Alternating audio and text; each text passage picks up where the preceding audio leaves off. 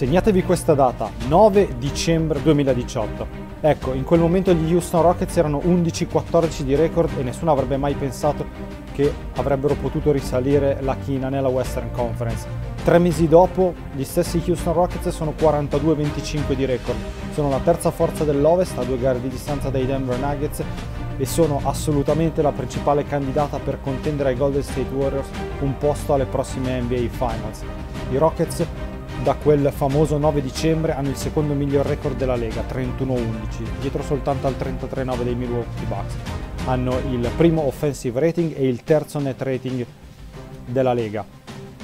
James Harden sta continuando a giocare a livelli di MVP. Il rientro di Clint Capela, Chris Paul ed Eric Gordon sono stati determinanti per il 13-4 di record al 2 febbraio e hanno vinto le ultime 9 partite disputate. Tra l'altro hanno vinto anche a Boston, Toronto e contro Philadelphia.